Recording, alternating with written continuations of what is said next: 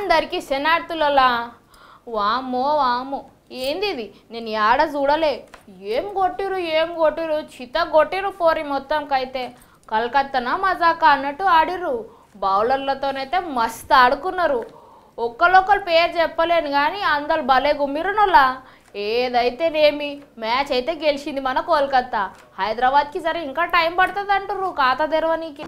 రెండు కిరాక్ జట్ల మధ్యలో గట్టి పోరియాల.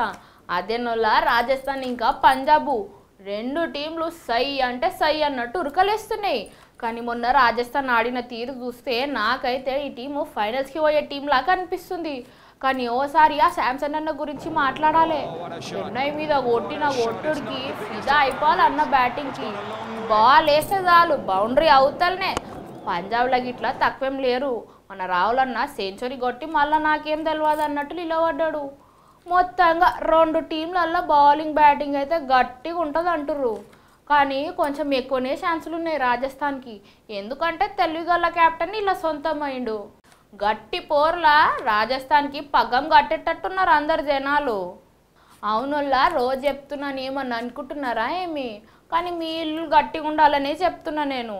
మళ్ళీ మా భారతీ సిమెంట్నే కొనుక్కోండి మీ ఇల్లులు గట్టిగా కట్టుకోర్రి. సరేనా? ఉంటాం మళ్ళా నేను.